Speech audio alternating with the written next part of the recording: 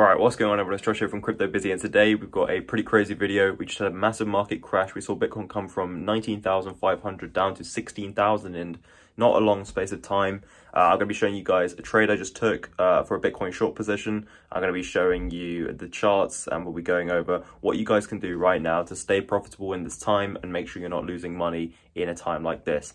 Uh, if you do enjoy this kind of video and you do find it useful, please leave a like on the video. It really helps us out. And on top of that, uh, subscribe to the channel for more because we've just hit 50,000 subscribers, which is absolutely crazy. Thanks for everyone that uh, has uh, subscribed. And uh, here's to 100,000. That's the next milestone. So uh, thanks for that, guys. And also go to our Twitter right now and you can see our pinned comment is actually a Q&A style comment. And uh, Tom and I are going to be making a Q&A style video very soon uh, where we answer most of your questions. So go ahead, go over there, give us a follow, comment there which uh, which things you want to know about us or crypto or anything and uh, we'll be sure to answer them shortly. But yeah, guys, we're going to get straight into the video. Hope you enjoy, and also let me know what you think about this uh, face style thing at the beginning. Let me know if it makes a difference, just trying it out. But anyway, let's get into the video. So it seems we haven't hit that 20k Bitcoin that we've all been waiting for, unfortunately. However, that being said, uh, it doesn't really put me off too much because we did hit an all-time high pretty much of around 19.5k, or at least we revisited the highs of uh, 2017. And that's something really important to note, guys. We have come pretty much full circle. And for those of you that have been in crypto for the same amount of time as myself or Tom, uh, you know, a few years now, we, we've seen some stuff, right? We've been through crypto winter, as you'd call it, or you know, the bear market. Uh, we've been through this two year long bear period where we were literally just trying to find any ways of making money because Bitcoin was just going down or being stagnant.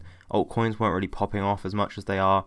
Um, but we made it through we held, we hodled, as uh, you know people would say, and uh, now we are back here where we want to be. But unfortunately, the price has gone down to 17.2k, and we actually saw the price drop down to around 16k earlier this morning. Now, I was going to put out a video a bit earlier because I literally just made a trade, um, but I, I, thought I'd hold off a little bit uh, till just later so we could actually see a, more of a reaction to the crash. So let's just have a look at the market prices right now. So we've got Bitcoin, of course, at about $17,200. We've got Ethereum at 507, which really sucks because we were over that $600 mark. And as you all know, my target for Ethereum is kind of around the $800 mark. Uh, we have XRP, which has taken a massive hit, unfortunately. Uh, it's back down at 52 cent after almost hitting 80 cent the other day. Um, we've actually got an XRP video coming later today, so definitely stay tuned for that. Um, it's it's quite an extravagant one. It's about whether $25 XRP is possible, so stay tuned for that. That's Tom's Tom's video later. Uh, we've got Chainlink down at $12.50, which is annoying because it was at like $16 or something. But yeah, things are, you know, they are what they are. Stellar, unfortunately, down at 16 cent after, I believe, hitting 22 cent or something crazy. We do have this crash to deal with though, and as the title suggests, I'm going to be sharing some things with you that I've learned throughout the years of how we can profit from these times and how we can stay calm and uh, hodl and also maybe pick up some more cryptocurrency along the way. On top of that, uh, we got 11% down overall in the global crypto market cap. Um, but I do still think we're on the up and up, and we are going to eventually reach that $1 trillion market cap. Um, so let's go over some charts right now. Now the first thing you'll notice is the trade that I've taken. So this was the entry point for me was around $18,680 and uh, I exited the trade at 16,200 making a very nice profit actually. This one was one of my most profitable trades in the last couple of weeks actually because uh, such a tight stop loss and such a big reward target. Now I'm going to quickly walk you through the reasons why I took this trade and also uh, if a lot of you are new to uh, leverage trading for example or margin trading uh, some of you might be wondering how I made money when the market went down. Um, but obviously, if you're traders, you'll you'll know. But let's get into my reasoning, my explanation behind this. Well, you see, we have key levels, right? Of course, my key level strategy that I talk about in pretty much every single video. Um, we've got these levels that I've marked out through do, using different time frames. In fact, I did a video yesterday called How to Identify Key Levels. So you can go and check that out and you can actually see how I came to the conclusion of doing all of these levels where they are and how they've held up so well. Um, but basically, this key level for me, 19.2k to 19.5k, that has always to me been a clear, clear level. And look at this, this is textbook, right? We hit it, we came right back down and we hit it and for those of you that are familiar traders you'll know this is called a double top where price comes up hits it once comes down for a bit and then hits it again uh, and then there's like a high probability that it's going to come down after that So I waited for confirmation. I waited for this uh, bearish close. This is the four hour chart. I did go down to the one hour chart to execute. Uh, and what you'll see is I, I, actually saw this. So I entered around here. Um, I saw this little push up and then I set a order below here. So it was going to take me into the trade uh, at around yeah $18,700. So it did that. I set my stop loss above this key area here. And uh, I targeted my lows of $16,250. And look at that. It was pretty much a perfect hit. We came right down, touched it, and then we wicked up and then went up again. So yeah, very, very profitable trade. Very happy that I made that. And for those of you wondering, how did I make money with the market going down? Well, like I said, this is called uh, leverage trading or, or spot trading, right? This is where you trade the value without actually owning it. So I never owned Bitcoin for this trade. I didn't buy Bitcoin and then sell it. I just traded the value. I kind of bet on it going down, and then they paid me for uh, it going down, right? For being right. So I used Bybit. Bybit is the best place to trade uh, leverage or margin on uh, on cryptocurrency, in my opinion. I use this every single day, uh, and you can make some great profits. Of course, be very careful if you're new.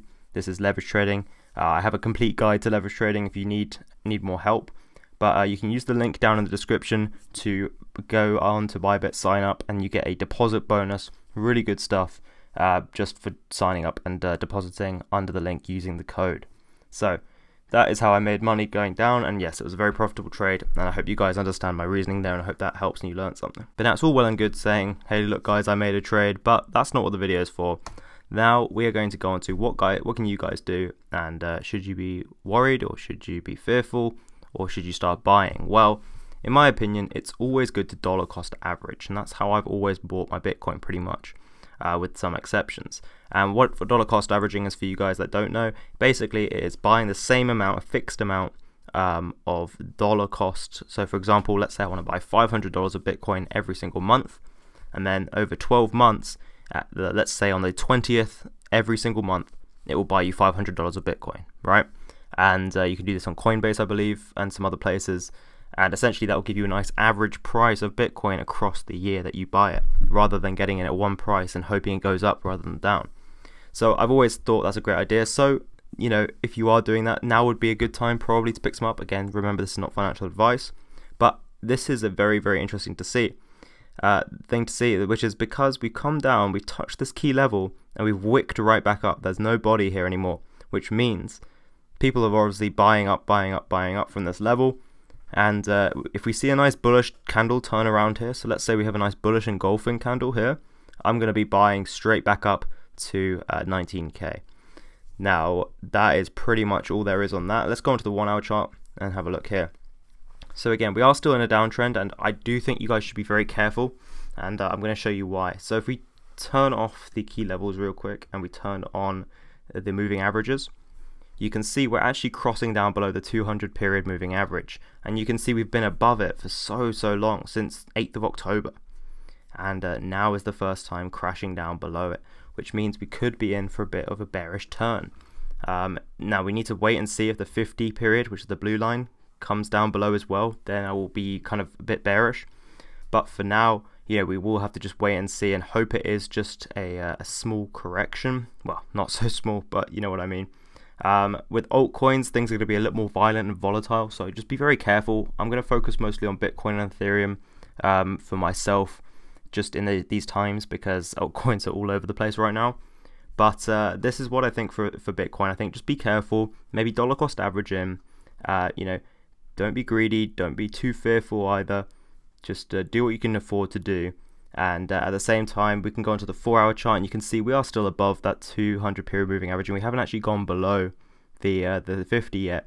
So we could easily see a turnaround on the four hour. I'm going to be watching this as the main the kind of directional time frame. So definitely keep an eye on the four hour chart for Bitcoin. Very, very important stuff there. Now let's get onto Ethereum and check out kind of some some similar things here. So of course a very similar type thing. I didn't actually make a trade I was going to, but I didn't quite do it in the end.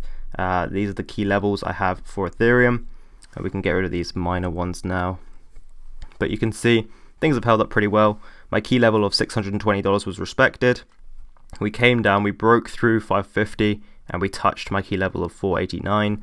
Uh, so like I said, these key level strategies, guys, are golden. I'm telling you, please go back and watch my video yesterday about it because you will learn a lot, I hope. um, And yeah, so this is going to be really, really key to see what happens at this point. I'm not going to be buying, I'm not going to be selling, I'm going to be waiting uh, to see what happens. Like I said, we are still in a very violent downtrend. Um, you can see, I mean, you can't really even draw a trend line, it's so violent. But what I want, what I really want to see is things turn around and see a higher low. So for example, uh, let me just try and illustrate this quickly. So I'd like to see things come up here, break through this previous high. I would like to see things come back down and then go up like that. And for me, then that's the beginning of an uptrend, and that's what we like to see. So uh, that's what I'm going to be looking out for on Ethereum. Uh, it's pretty similar with Bitcoin as well. So I would say keep your eyes on it. Don't necessarily buy into anything right now unless you have the spare capital to do so. But if things have a bullish turn at this key level of $480 for Ethereum and at the key level of 16,250 for Bitcoin, then that's where we can see a really nice turnaround and some really nice profits coming back up to those highs. Now, for Ethereum, as you know, I've talked about this many times before, my next major target is $800. So once we break through 600, uh, it's a pretty straight shot for me to go to 800. So uh, if things do come back up here and we break above 620, you better believe I'm going to be buying a ton of Ethereum, and I'll probably make a video called "Why I Bought a Ton of Ethereum." um, and so stay tuned for that if it does happen. Uh, but yeah, guys, I think that is pretty much it for Bitcoin and Ethereum. I hope that helped. I hope you learned something, um, and I hope you now know what to look out for. So just to recap quickly, and I'll keep saying it, but recap: turn on your 50, 20, and 200 EMAs, mark your key levels, and you can copy mine if you want, and uh, go for it and just literally wait for a reversal pattern, wait for things to come back up, and then that's when I'm more confident. Yes, you might miss out on some potential gains, but at least then you're going in with confidence rather than, oh, I don't know whether it's going to go up or down. So, guys, I hope you enjoyed this video. If you did, please leave it a like. And let me know what you thought of the uh, kind of face style at the beginning. Did it help? Did it bring anything new to the video? If not, let me know. Um, and also subscribe to the channel if you haven't already. Really appreciate you guys. And with that, guys, I'll catch you in the next video. Bye.